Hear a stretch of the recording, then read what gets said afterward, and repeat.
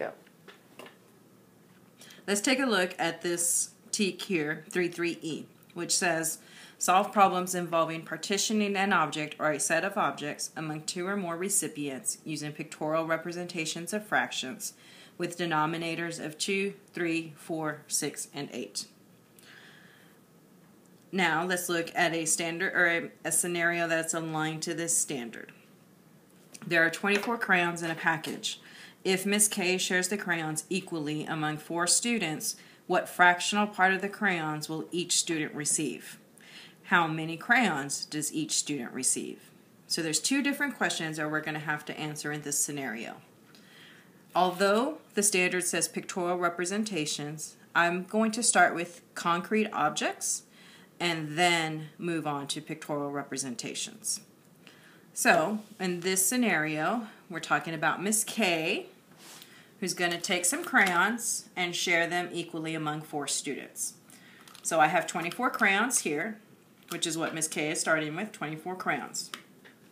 I'm going to use paper plates to represent our four students.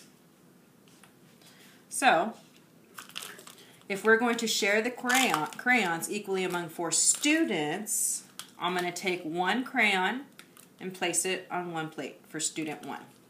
Take another crayon, place it on the second plate for student number two. Now I'm going to place a crayon on this plate here for student three, and then one crayon for student four. So right now, each student has received one crayon. We still have a bunch of crayons left. So we're going to continue to distribute evenly the amount of crayons to each student.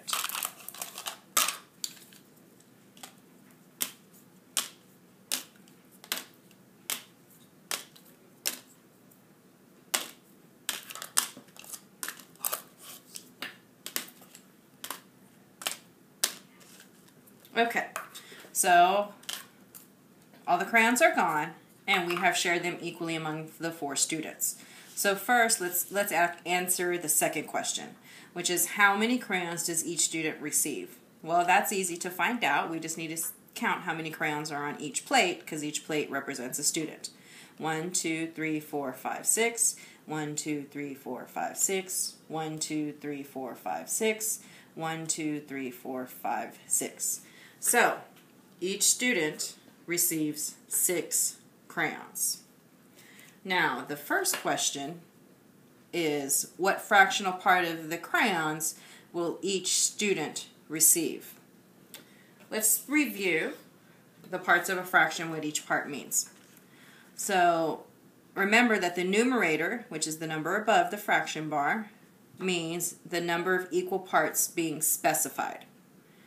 The denominator, which is the number represented below the fraction bar, is the total number of equal parts in the whole or the set. So here, our set contains four equal parts, which are the four students. Each student represents one of the specified parts. Student 1 represents one of the specif of one of the total parts, which are four.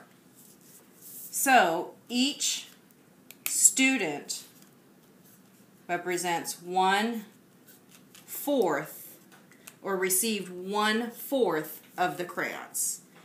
Each student received one fourth of the crayons. Now, I'm going to go ahead and look keep the same scenario, but we're going to look at a pictorial representation. So here we have a picture of 24 crayons. and we're going to just do basically the exact same thing with the concrete crayons, but we're going to use this pictorial representation. So we have four students still in this scenario. And each student is going to receive an equal number of crayons. So I'm going to give one student or give one crayon to student one. So I'm going to mark that crayon from our original set because we've removed it from here and given it to student one. I'm going to go ahead and give one crayon to student two, one crayon to student three, one crayon to student four. So we're going to continue to do that until all of our crayons have been shared equally among our four students.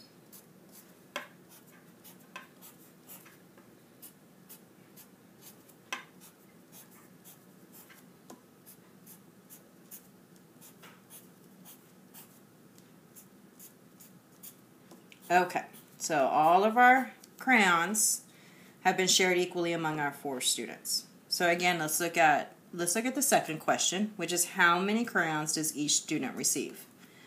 One, two, three, four, five, six. One, two, three, four, five, six. One, two, three, four, five, six. One, two, three, four, five, six. Each student receives six crayons. Now back to the first part or the first question, which is what fractional part of the crayons will each student receive? So again, remember that our whole was divided into four equal parts. So let's take what we have here and let's let's group six crayons for each student in our pictorial model. One, two, three, four, five, six. So there's six crayons for student one. One, two, three, four, five, six. There's six crayons for student two. Six crayons for student three. And six crayons for student four. So here are the total of, remember back here, the denominator is the total of equal parts in a whole or a set. So in this set, we have four equal parts. One student is the part that we're looking at. So each student received one fourth of the crayons. Now, we're going to use the same scenario, but just look at a different type of pictorial representation, which is a number line. So here's a number line, numbered starting at 0, going to 24. We already know each student received six crayons. So I'm going to count the spaces so that I can show six students, or six crayons for each student. One, two, three, four, five, six. So here, six crayons for student one. One, two, three, four, five, six. Six crayons for student two. Six crayons for student three. Six crayons for student four. Again, we have four equal pieces, which represents our denominator each student represents the part being specified. So each student represents or received one fourth of the crayons.